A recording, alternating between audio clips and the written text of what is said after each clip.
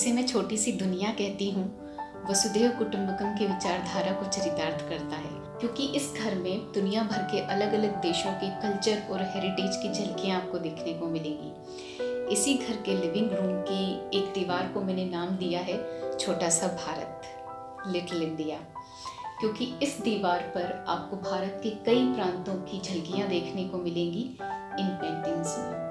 भारत की विविधता और खूबसूरती को दिखाने वाली इस दीवार पर केरला की रंगों से भरी पारंपरिक पेंटिंग म्यूरल है तो आंध्र प्रदेश की कलम से की जाने वाली कलाकारी, कलमकारी भी है। खेल और मनोरंजन से जुड़ा मैसूर का गंजीफा कार्ड है तो रोज़मर्रा में गाँवों की गतिविधियाँ दिखाने वाली महाराष्ट्र की वारली भी है। कृष्ण भगवान की जीवन लीलाएँ दर्शाती नाथ द्वारा राजस्थान की पिछवई है तो बंगाल के कोलकाता में काली मंदिर के आसपास जन्मी हिंदू मिथोलॉजी को दर्शाती काली घाट पेंटिंग भी है। महीन कारीगरी और परिष्कृत नमूनों से भरी ओडिशा की पट्टचित्र है।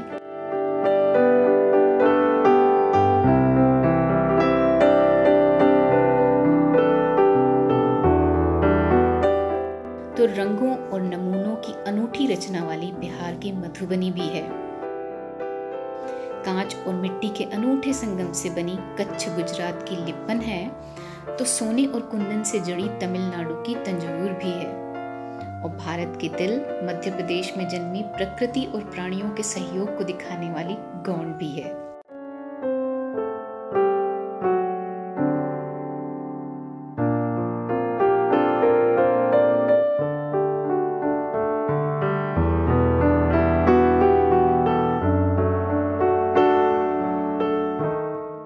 इस छोटी सी दीवार में जहाँ भारत के कई सारे रंग हैं, एक रंग और जोड़ने जा रही हूँ। तो कुछ दिनों पहले मेरे पास एक पैकेज आया और उस पैकेज में आई ये प्यारी सी बास्केट्स और असम के पहाड़ों की महक। तो असम अब इस दीवार का अहम हिस्सा है।